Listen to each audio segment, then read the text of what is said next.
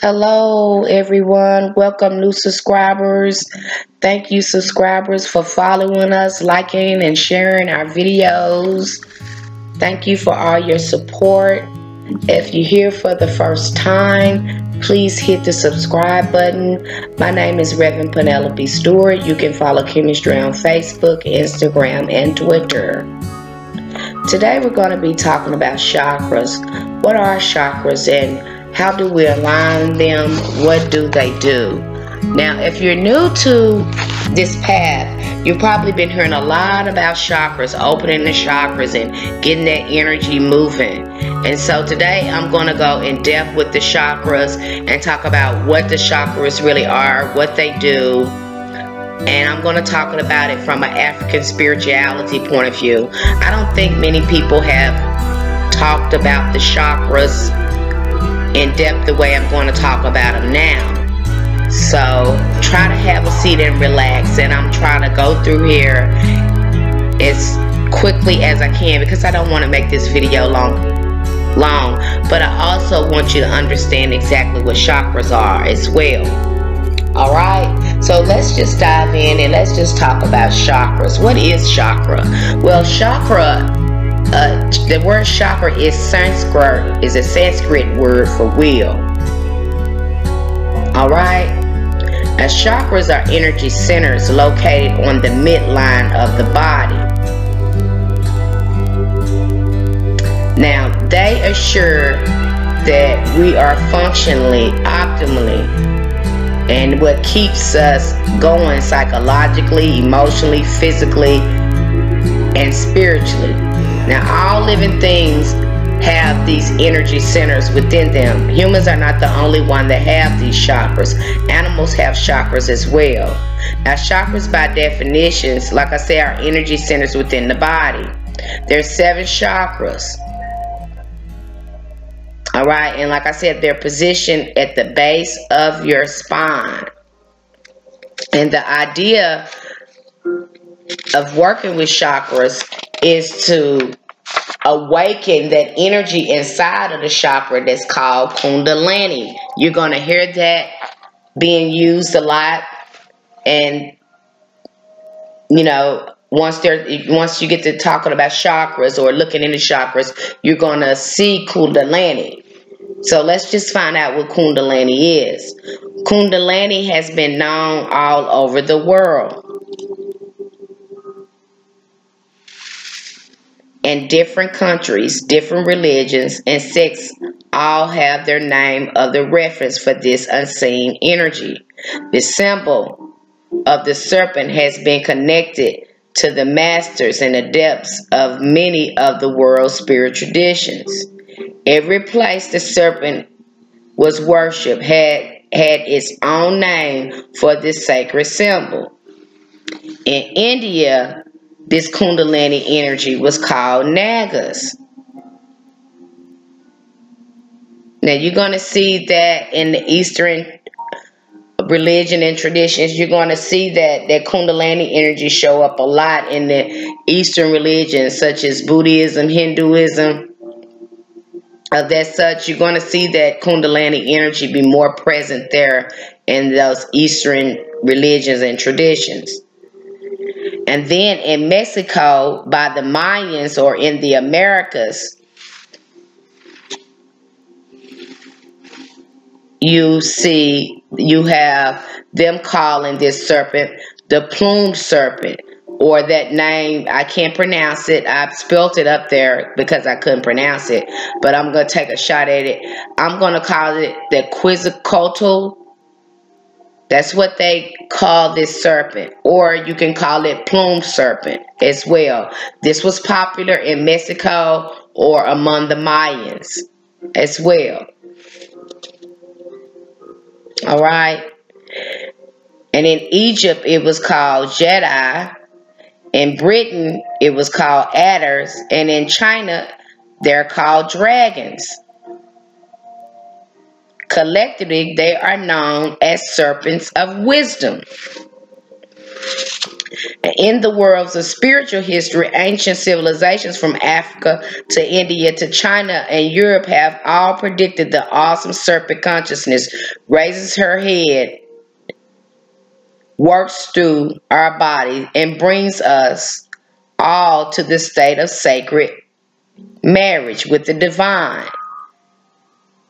Now you see here the origin of the rainbow chakras and the Kundalini serpent was first derived from the Yoruba Orisha system of ancient West Africa, defied, deified in the divinity of the Oshumare.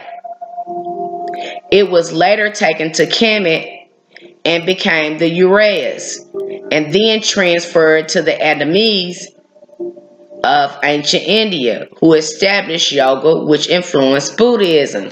So you're seeing it it come from the most ancient cultures and then move around the world here. All right, so I, I bet you a lot of you didn't know that.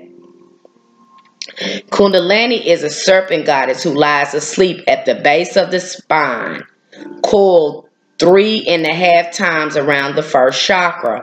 Her name is Kundalini Shakti, and her and she represents the unfolding of divine Shakti energy, the energizing potential of life itself, a living goddess who who lives in all things. All right. So we're talking about this divine feminine energy again. Some people, I think in Kabbalah, they'll probably call her Sophia you know, of wisdom.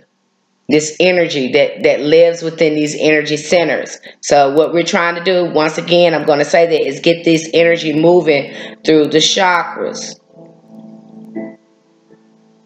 All right, certain circumstances can stimulate the awakening of the Kundalini energy. It's usually triggered by such things as extended periods of meditation. That's why when you get to working with your chakras, you're going to be encouraged to do some meditation. Some people get into yoga, fasting. Stress can also open up certain uh, chakras, but that means that something is probably going to be out of balance if stress, stress has opened up that got that kundalini energy moving something is, is probably going to be a little bit out of whack. Trauma, trauma can get that kundalini energy moving as well because you go into that fight and flight thing and, it, it can open up that get that kundalini energy flowing. Again, we have to learn how to balance this kundalini energy as well. And we do this by balancing our chakras. All right.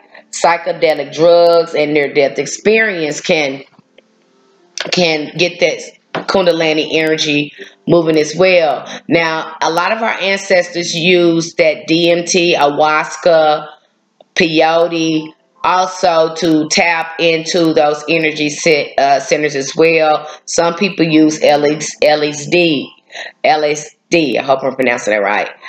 But I do encourage you to use the more indigenous forms such as peyote, uh, ayahuasca, salvia, uh, cannabis has been used too. That's that's an ancient one that has been used too to open up the chakras. So I encourage you to use something that has been used, you know, mostly by our ancestors or by indigenous cultures. A near-death experience can open up the third eye. I've seen that too, where people have a near-death experience and they come back and they just can see spirits. So it can't open up that third eye. But again, if the rest of these chakras are not balanced, it's going to have a negative impact on you. So the idea is to get those things into balance. Kundalini energy awakens and begins to rise through the body, piercing and open up the chakra as she moves in her undulating and snake-like fashion. As Kundalini releases stored and blocked energies, her movement can be quite intense, sometimes painful, often leads to mental states that seem out of this world. All right, because we're dealing with our consciousness as well as we begin to work with this Kundalini energy. But this is all going to make sense as I move on in this discussion. In awakening the power of the Kundalini, the path of the Kundalini initiation has always started the same way when the aspirant slowly begins the journey of raising his or her life force and consciousness. This is often accompanied by what can seem like a mental psychosis. Rousing this vital energy can take a few days, weeks, months, or a lifetime, depending on the individual. All right, so you know, this is all about evolving too. Some people are going to evolve faster than others. All right, so this is about not just evolving your, you know, balancing your your energy, but it's also about evolving consciously as well. Once the root chakra, home of the Kundalini, opens, the static energy housed there flows freely through the entire system provided that there are no serious blockages in one's energy centers, which some of us are not going to have any blockages, just a few of us, but most of us are going to have some type of energy blockages, and that's just normal. All right, some some energy centers are going to work better than the other. That's normal as well. All right, long as we can find some type of balance, bringing that into balance and start working on ourselves. All right. Kundalini is condensed primal force, similar to the potential energy found in water. When released, it creates a vertical connection between the chakras by opening the subtle channels known as nadi. Most specifically, the central channels that move up the spine called sushumna. If we put water through a small hose at very high pressure, the end of the hose will undulate like a snake. Similarly, the intense energy of the Kundalini undulates in the body as it rises through the chakras. So as this energy opens up, because it's coiled at the bottom, this Kundalini energy is coiled at the bottom like a snake. And it begins to rise up as we begin to open the chakras. All right. So let's move on. The benefit of learning about the chakras, the chakra system, is to understand on a whole that when all parts of you are communicating equally and working in alliance with each other, the energy from your body will be reinforcing and you will feel at your optimum level. So when we got these chakras you know, the mind, body, and spirit in line, and we got these chakras flowing, then we're going to feel at our best. All right? That That is the goal to get everything in the balance because if you're tired, you're sleepy, you're depressed, you're plagued by anger, or you know maybe you feel a little loopy sometime or you're not making good decisions well this would be an indication that you probably need to Get your chakras in balance. And once you do this, you're going to feel a lot better. Okay? When our chakras are out of balance, it can have a profound impact on our physical, emotional, and mental spirit, spiritual health. All right? When they are out of balance or alignment, both our bodies and our lives are likely to be out of balance as well. So let's look at this chakra chart because this chakra chart kind of tells you what it's like when the chakras are out of balance and what it's like when they're in balance. So take a very close look at this chart because it kind of it tells you what what your chakras should be like and what they represent and what they're connected to. All right. So let's move on. Sometimes people on the path of spiritual development will overemphasize the top chakras, believing that this is the way to become enlightened.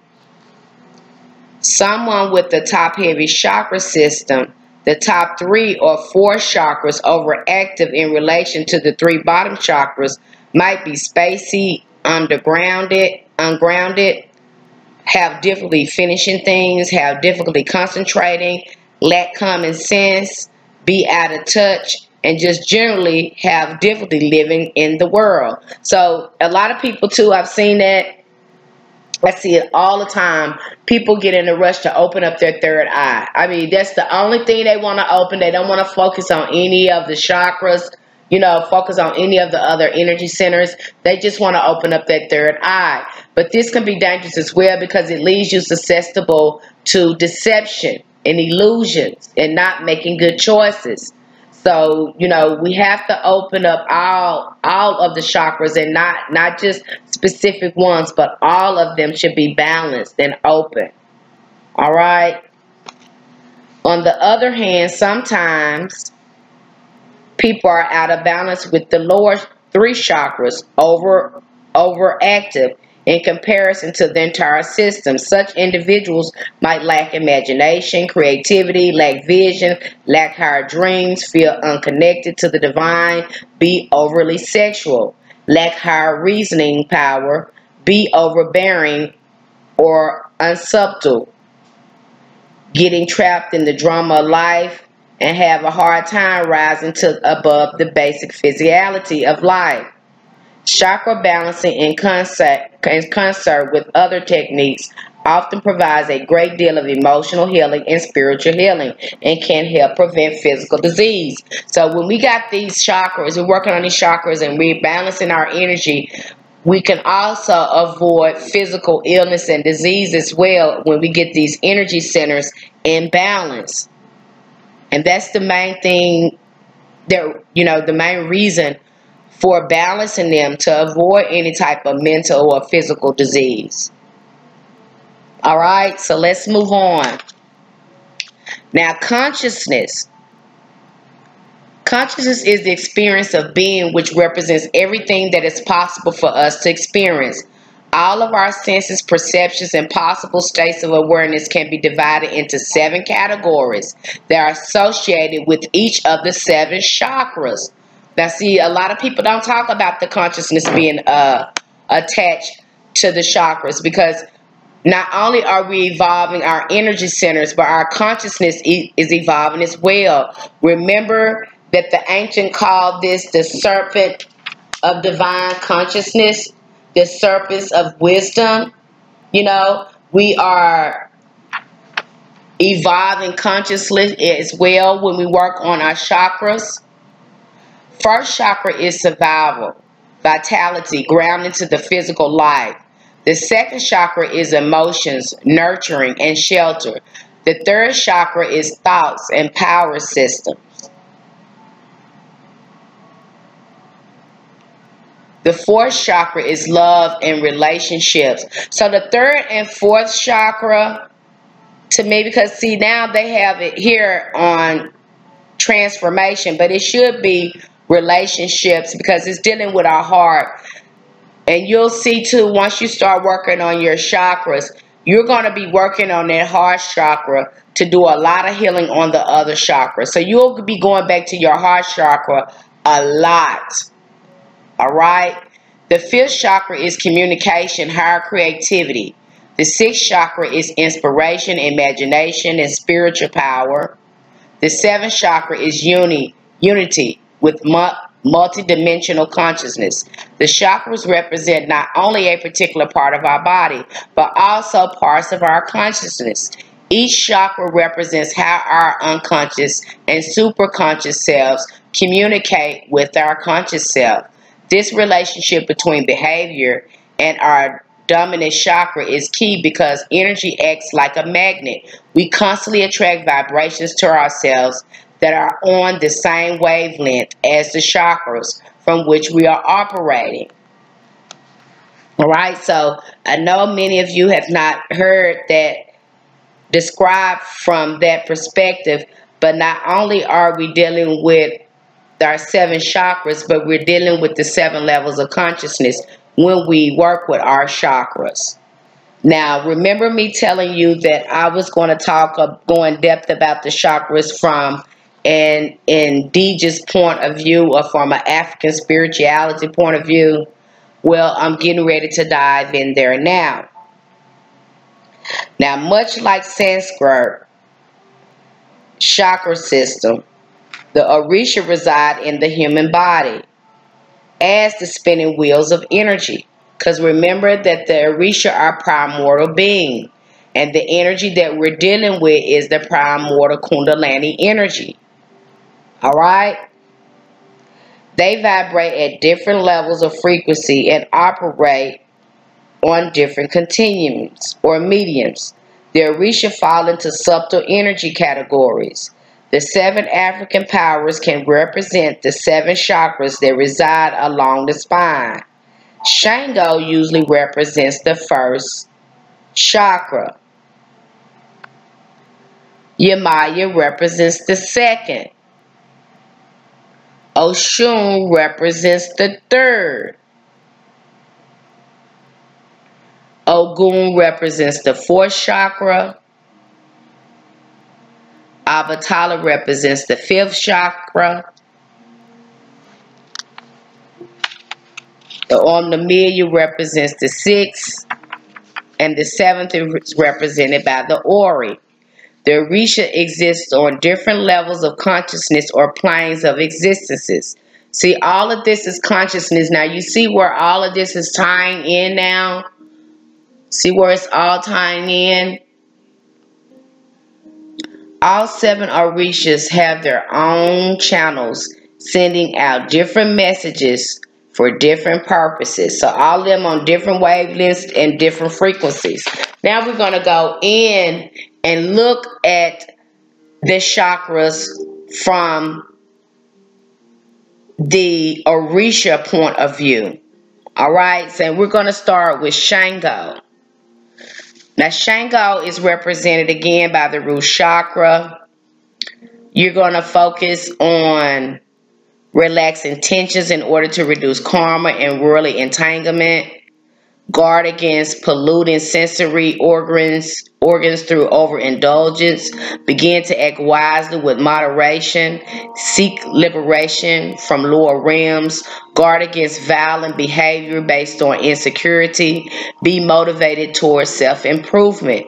All of this is about character work as well because we're mastering self. All right so I didn't read all of these, but you're welcome to come back and read all of these. All right, and let's move on to the second chakra, which is the sacral chakra, Yemoja, your maya. Here we focus on observe and study the effect of the moon upon the emotions. Going to be doing a lot of emotional work, monetary work, should perceive fulfillment of sensual desires and sexual life free of anger, envy, and greed. Elevate the consciousness through fine arts and crafts.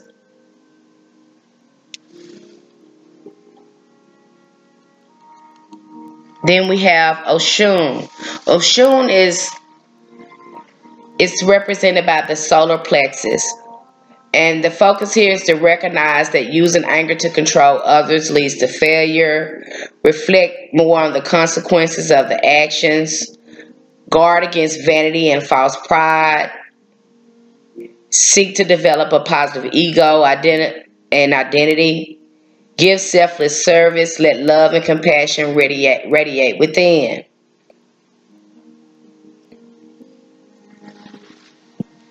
Okay, let's move on. And now we have Ogun. Ogun is, is associated with the heart chakra. Here we focus on develop a high sense of awareness and sensitivity. Like I said, you're going to be coming back to the heart chakra a lot because the heart chakra is associated with healing. All right, it's associated with awareness. It's associated with evolution. So you're going to be coming back a lot to the heart chakra, working on uh, on the other chakras. So we're going to focus on the sense of purity, innocence, and magnetism. Reflect on the inner sounds. Strive to become independent. Strive to attain wisdom and inner strength. Control your breathing and your heart rate. Purity in your relationships through the inner balancing of the male and female energies. All right, so you're going to be coming back to this heart chakra a lot, lot like I just mentioned. And these are the things that you're going to be focusing on attributes that you're going to be focusing on when you work on these chakras or with the orishas or tapping into that orisha energy.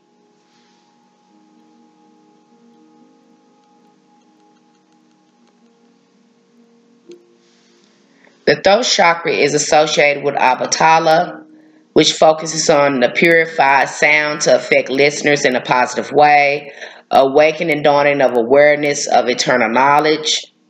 Supreme wisdom must overcome emotions of the heart.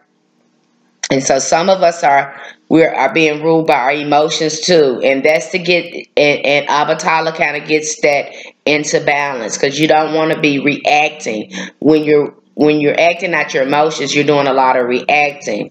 Use psychic energy and clairvoyance to communicate without words. Guard against negative thought and use knowledge wisely. We're trying to master self here. All this is about mastering self. But you'll see some of this stuff too when in the Egyptian Pantheon or Kemet You'll see some of this same thing going on because most of the African uh, spiritual system, they kind of, you know, they enmesh, they work together. So if you see this, you'll see this in the uh, Kemetic Pantheon too. All right. The third eye chakra is associated with Orunmila, which you meditate, you know, focus on meditating on the third eye, eliminating transgressions and impurities, reveal the divinity within, reflect on the divinity on others, a pra practice cosmic oneness, proper balance through spiritual devotion, the ability to produce visions of the past, present, and future. A lot of this right here too is probably going to deal with divination. Now, people at Ifa, they usually go get in a do to see what's going on with them. But I do encourage you to do some meditating, you know, to get some meditating going on. That is really going to help you a lot uh, in opening up that third eye.